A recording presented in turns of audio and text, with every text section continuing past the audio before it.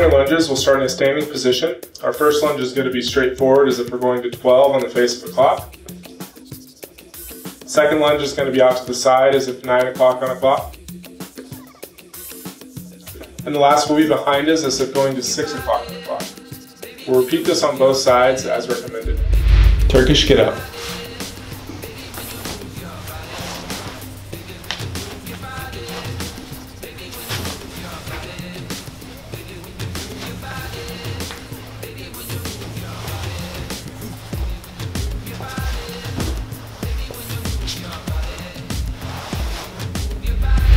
Open book will have you on your side with your knees bent to 90 degrees. Your arms will be out in front of you like this. From here, you're going to take the top arm up and over until you touch the floor on the other side.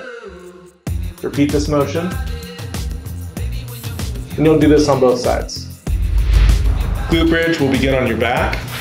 You're going to push your heels into the floor while driving your glutes up into the air holding at the top position for a second or two before slowly controlling back to the start position. Bird dog will begin on all fours. In this position, we're going to straighten one arm out as you straighten the opposite leg out, and then repeat on the opposite side.